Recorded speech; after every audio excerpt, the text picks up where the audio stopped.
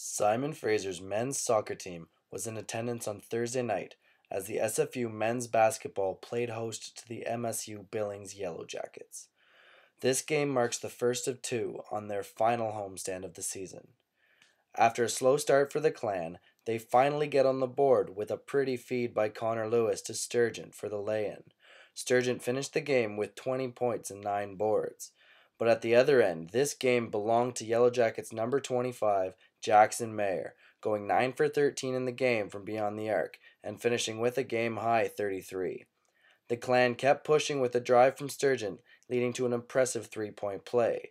The Clan go into the dressing room at half, down by only one. MSU Billings comes out strong with an early basket from number 32, Taylor Steven, but Simon Fraser's veteran Justin Brown hits the pull up jumper to keep the game within reach. This feeling was short lived, however, as the Yellowjackets make it rain from downtown by none other than their star from afar, Jackson Mayer. SFU doesn't give up as Lewis drives hard to the net for the basket and the foul, three of his 12 on the night. But MSU Billings was just too much for the Clan as they get the three pointers to fall to extend the lead to 20. The Yellowjackets won an impressive 56% from beyond the arc, compared to the Clan shooting a mere 22. SFU was outscored 55 to 36 in the second half and fell to a final score of 94 to 74. The Clan will be in action on Saturday night, capping their last home game of the season against Seattle Pacific University Falcons.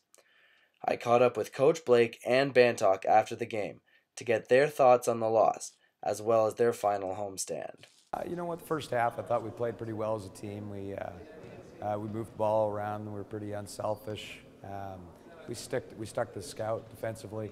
And kind of in the second half, you know, they've got 10 guys that they, they run at you and wore us down a little bit. Us got, us, got us out of the scout. But uh, and the second half just didn't make shots. You're not going to win any ball games, and then gave up 56 points on top of it. So every every missed shot they ran and, and, and, you know converted off of it. So good first half, not a very good second half, but you know that's kind of been the nature of the last four games.